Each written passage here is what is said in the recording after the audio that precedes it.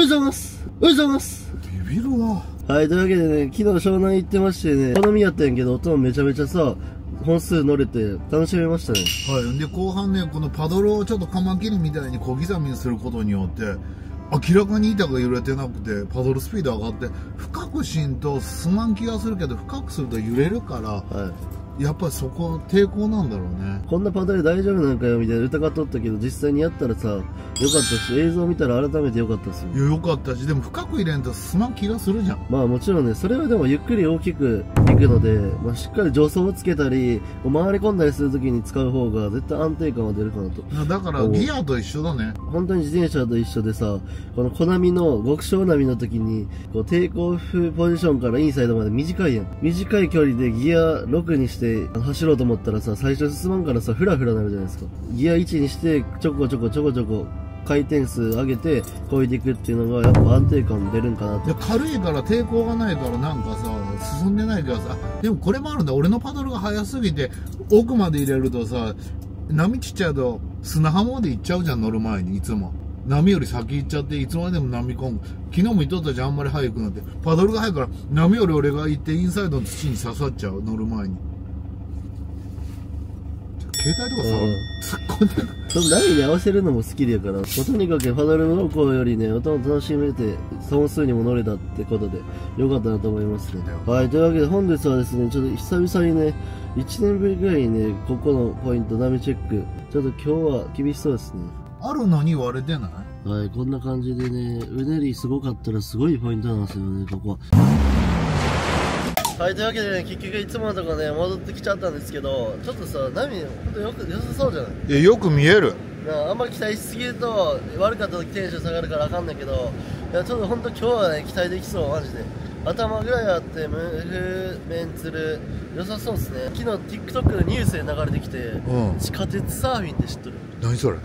ニューヨークであったらしいんやけど最近ね若者の中で流行ってるらしくて地下鉄の電車うん。の上にスパイダーマンみたいに走っとる電車に、ね、乗るんですよ。それ捕まるやろ。でそれで今年181人が逮捕されてん。6人が亡くなったんよ。それ何が嬉しいの？多分それで SNS に載せるっていう。ああ。いやそれ007とかさだと電車の上走りますけど、うん。トンネルとか来てなあれは捕まるぞ。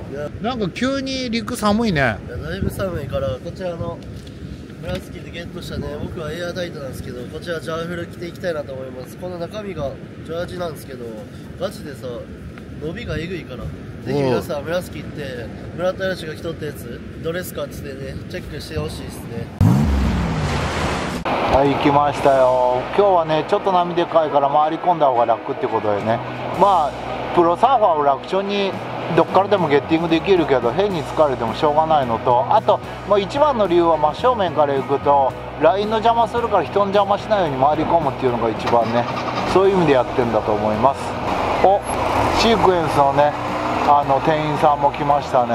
紫スポーツの社員さんです。ううまいですよ。サーフィン大好きでねあのサーフィンの仕事やってる。最高じゃないでしょうか。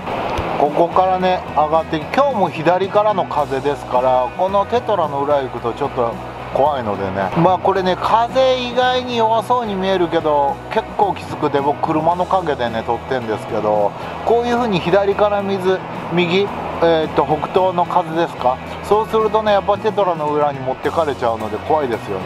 やっぱ風とねこう流れって結構ね一致するから風見て入るといいんじゃないかなと思う。まあその流れが違う時もある回っとる時もあるしねいろいろあるんですけどあと陸からね大町一人での動き見るとかる。バーッとすごいカレンダーの時流れてますから目に見えて。そうするとあこっちに流れとんなっていうのが分かりますからね。まあ、そういうのもね全体にまず入る前にお行ったぞいきなり。ワンタン回し込んでおいいんじゃないですか？あの着替える時にね海見ながら着替えるとね結構わかるしあとどこで内待ちしたらいいかなとかね。でまずはそこで内待ちして1本乗ってからこう行こうかなとかいろいろ考えながらやるとねめっちゃいい。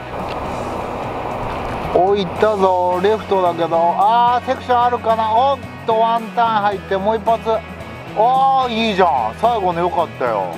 良かったと思いますよ。待ってね。まあこんなにダメなのかなと思ってもさあやって張ってきてねセクションあるんだな。よかったです。おおいった。ライト方面スピードつけて。お何やるのかな。飛ぶか。おっと。おっと伊藤遥選手。おっとリッピングうまいぞ。もう一発決めろ。カーブ。いいんじゃない？ああよかった。ああ最後決めてほしかった。お伊藤遥選手。わーっと前が崩れちゃったか。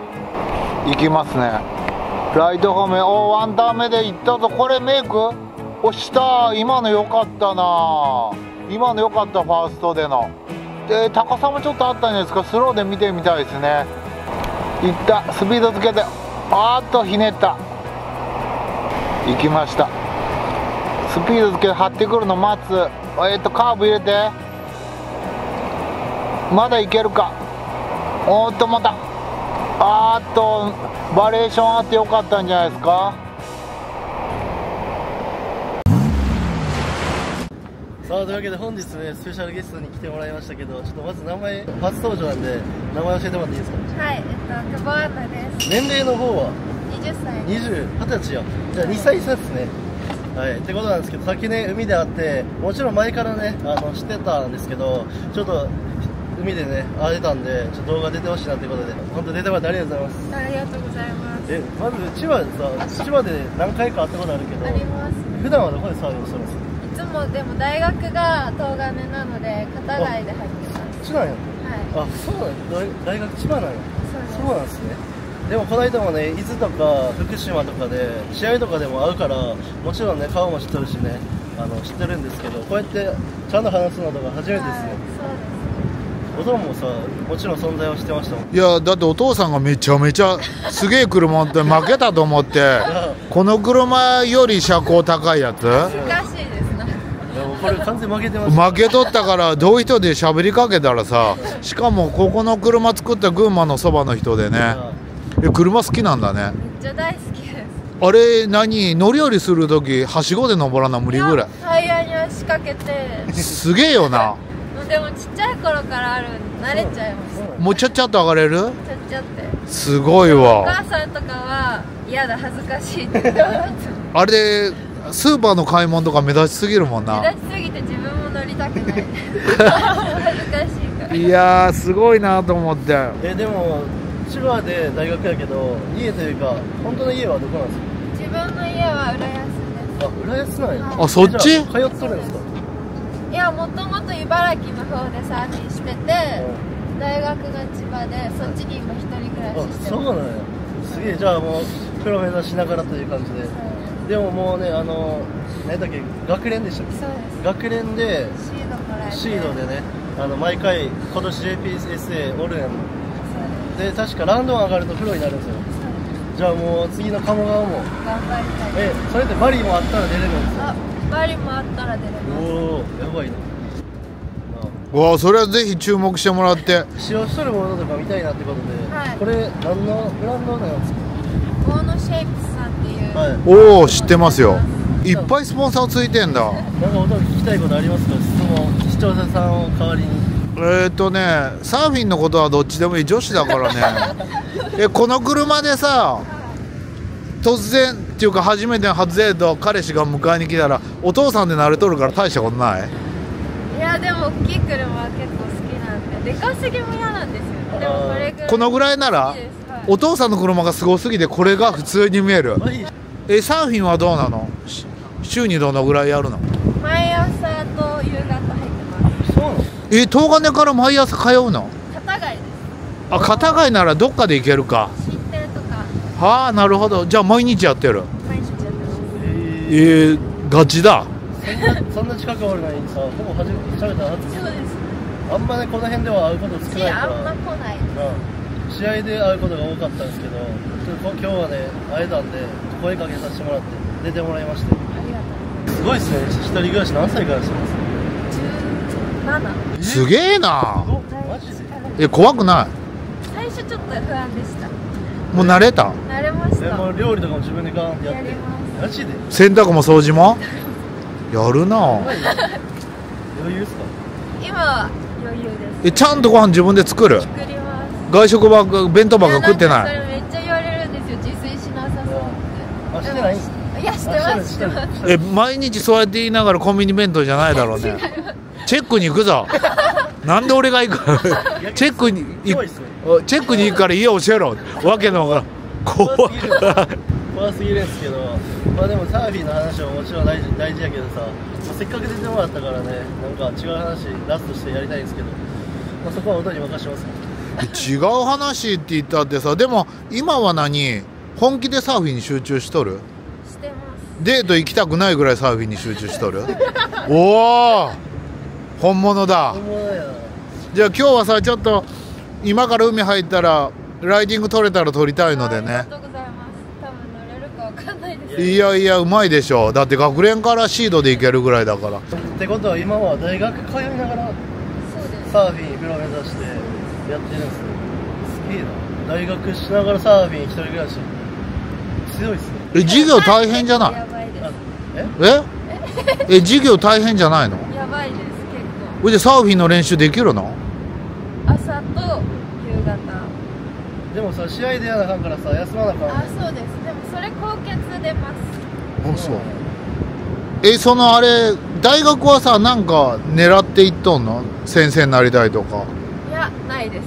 ただただ。ただだねそうだ。ねあただただまあ確かにね。へ将来のためというか。はいえじゃあもうね皆さんライブ配信でぜひね応援よろしくお願いします。お願いしそうます。シシードってことはラウンドワンでからおるやったはい。でそれ上がったら試合によるけどプロで。いやもうそれも見どころでね次鴨川やと思うんでマジで応援してます。ありがとうございます。はい。お前が頑張るよみたいな顔してましたね今。そうお前もなっていう感じ。頑張ってくださいよ。お前もなって。って感じだったんですけど、はい。ちょっと今からねまた一緒にサービスしてあのまあ波がね頭ぐらいあるんでね結構ハードめですけどちょっと何本か乗れたらいいなってことで行きましょう。ありがとうございましたありがとうございます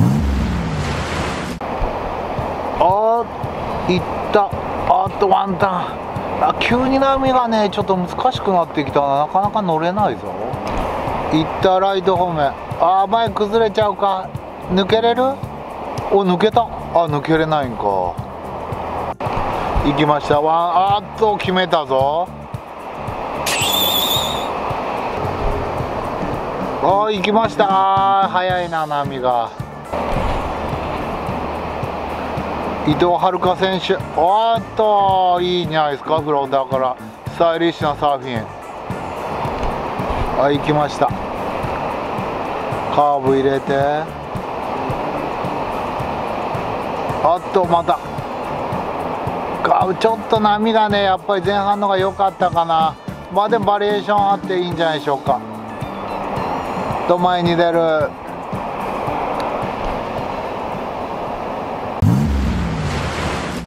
い、お疲れ様です。さあ、というわけでね、ちょっと波がね、いきなり、なんていうの、さっきね、話してから、もう一回2回目行った、1回目はね、さあ、というわけでね、さあ、というわけで朝練習終えたんですけど、1回上がって、で、トークして出てもらって、で、2回目入った時から、いきなりね、波の方がめちゃめちゃね、良くなくなってしまって、ちょっとね、ライディングね、あの、撮りたかったけど、撮れんだっすね。そう一本立ったのしか取れんくで急に波がダメでかなり厳しい状態になっちゃってねいやで海ってこうやってさ突然変わるんだよねまあでもね、トーク出てもらえただけで本当ありがたいなと、本当出演ありがとうございました。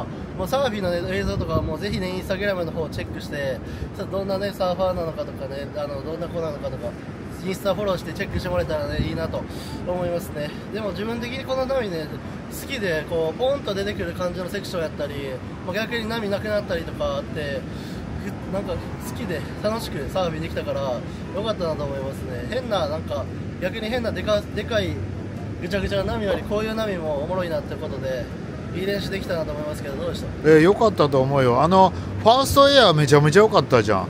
あれメイクしんできんと思った正直言うとなんかいや体勢がちょっとさ回転の時あのーバランス崩してないかなと思ったらスコーンでできたからあれは良かったんじゃない？はい、もう歩く以前に靴下履くぐらい当たり前のこと転んでもらうんですけど、まあでもあれはね、一つのこのバリエーションとして良かったと思いますし、こう自分なりにあのエアでね、あ良かったなと思ったのが、まあ、エアのこうなんていうの完成度とかじゃなくてこの場所とタイミングこうテイクオフしてこうあやばいなみたいな波抜けれるかなみたいなこういうもたついとる体勢が500%じゃない時にメイクできたからこれは結構ねなんていうやろうなこの足腰の強化というかね強さがそこで発揮できたかなと。